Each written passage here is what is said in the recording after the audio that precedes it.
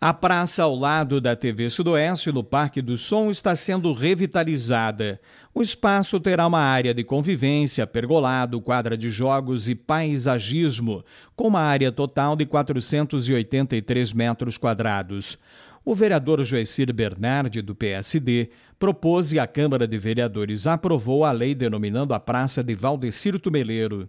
Nascido em 5 de setembro de 1961, mais conhecido como Bicudo, sempre foi carismático e ativo.